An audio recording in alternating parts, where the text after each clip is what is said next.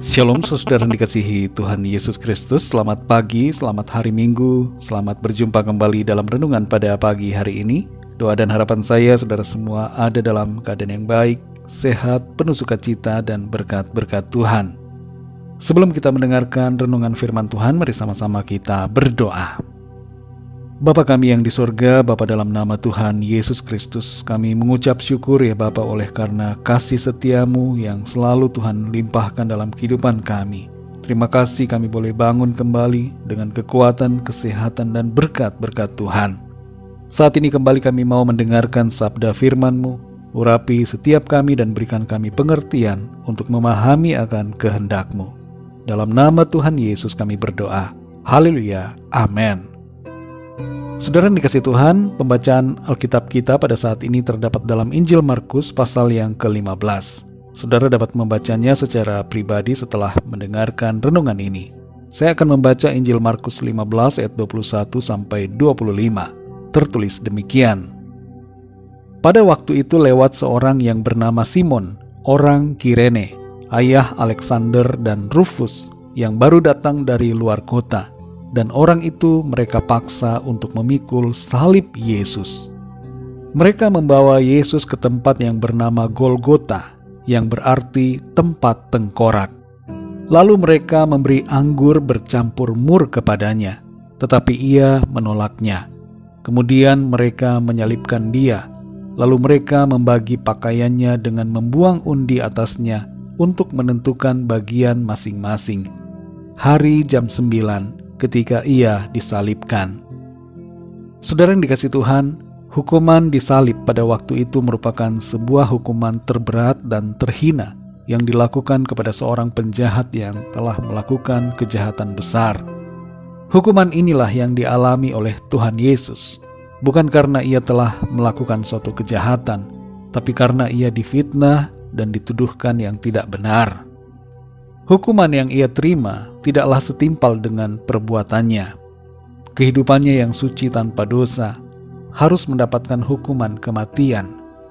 Tuhan sendiri telah mempersiapkan dirinya menjadi korban yang layak untuk menebus segala dosa kita. Tidak ada pengampunan tanpa curahan darah. Manusia yang berdosa harus ditebus oleh pribadi manusia yang suci tanpa dosa, dan syarat itu dipenuhi oleh Tuhan Yesus.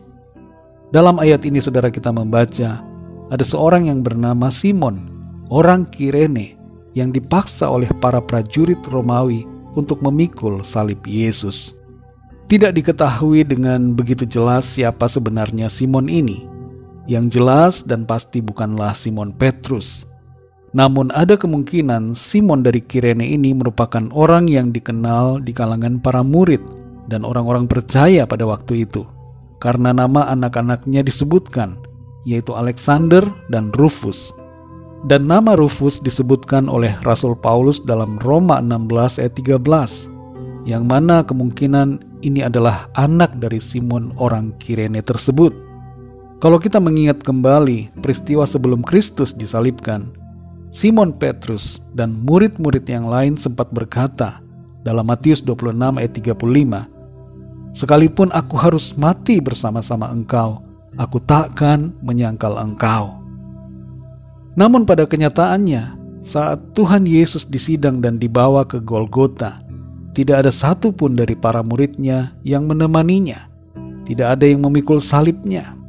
Justru Simon orang Kirene lah yang memikul salibnya. Dan itu pun dilakukannya dengan terpaksa. Simon dari Kirene ini tentunya mempunyai perasaan yang campur aduk saat ia memikul salib Yesus. Ia ikut merasakan rasa malu, penolakan, dan kehinaan karena Kristus di tengah-tengah pandangan mata banyak orang, walaupun perasaannya itu hanya secara parsial.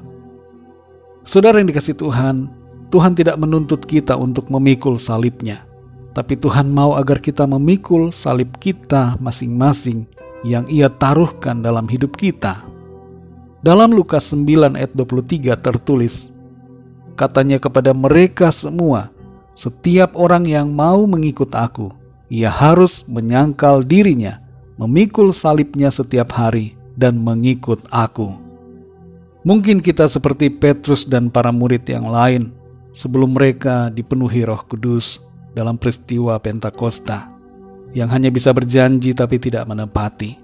Mereka merasa malu karena Kristus tidak berani pikul salib. Tapi mari saat ini saudara, kita berubah oleh jamahan kuasa roh kudus dan firman Tuhan untuk menjadi pribadi-pribadi yang mau memikul salib setiap hari dan mengikut Tuhan Yesus. Apa pun konsekuensi dari iman kita, kita mau tetap setia melangkah bersamanya. Mari kita berdoa saudara. Bapa kami yang di sorga, Bapa dalam nama Tuhan Yesus Kristus, kami mengucap syukur untuk kebenaran firman-Mu yang sudah kami dengar pada saat ini. Mengajar dan mengingatkan kami untuk mengiring Engkau dengan setia memikul salib yang Tuhan taruhkan dalam kehidupan kami. Kuatkan kami ya Tuhan, supaya kami tidak malu, tidak merasa gengsi, dan tidak merasa terhina dalam memikul salib-Mu. Tapi kami selalu kuat, teguh dalam iman kami bersuka cita untuk mengiring Engkau, dan selalu penuh dengan semangat, pengharapan damai sejahtera di dalam Tuhan. Engkaulah Tuhan yang telah menebus kami dan membaharui hidup kami. Karena itu kami mau memberikan hidup kami bagimu ya Tuhan. Terima kasih kami bersyukur. Pimpin kami di sepanjang hari ini dalam segala aktivitas kami, pelayanan dan semua yang kami lakukan. Biarlah semuanya itu memuliakan nama Tuhan. Berkati setiap kami dalam pergumulan, persoalan, rencana, cita-cita, harapan kami. Biarlah Tuhan Engkau yang turut campur tangan dalam setiap keadaan kami. Terima kasih Tuhan kami bersyukur, kami percaya kami terima kemenangan, alami mujizat Tuhan dalam hidup kami. Yang sakit Tuhan sudah sembuhkan, yang lemah Tuhan sudah kuatkan, yang susah Tuhan hiburkan, dan yang dalam masalah persoalan Tuhan berikan pertolongan. Terima kasih ya Tuhan, kami bersyukur dalam nama Tuhan Yesus Kristus. Kami sudah berdoa. Haleluya. Mari sama-sama kita berdoa doa Bapa kami. Bapa kami yang di sorga, dikuduskanlah namamu, datanglah kerajaanmu, jadilah kehendakmu di bumi seperti di sorga. Berikanlah kami pada hari ini makanan kami yang secukupnya, dan ampunilah kami akan kesalahan kami, seperti kami pun mengampuni orang yang bersalah kepada kami dan janganlah membawa kami ke dalam pencobaan, tetapi lepaskanlah kami daripada yang jahat, karena Engkaulah yang punya kerajaan dan kuasa dan kemuliaan sampai selama-lamanya. Amin. Terimalah berkat Tuhan. Tuhan memberkati engkau dan melindungi engkau. Tuhan menyinari engkau dengan wajahnya dan memberikan kasih karunia.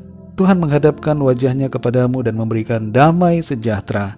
Berkat anugerah dari Bapa Surgawi, cinta kasih karunia dari Tuhan Yesus Kristus, dalam persekutuan dan penghiburan Roh Kudus menyertai kita semua sekarang ini dan sampai selama-lamanya. Dalam berkat nama Tuhan Yesus Kristus. Haleluya. Amin. Puji Tuhan, saudara yang dikasih Tuhan, saya percaya firman Tuhan menjadi berkat dan kekuatan buat saudara semua, dan roh kudus akan menolong saudara untuk lebih lagi memahami kebenaran firman Tuhan. Tuhan Yesus memberkati saudara semua. Sampai jumpa dalam renungan yang berikutnya. Haleluya!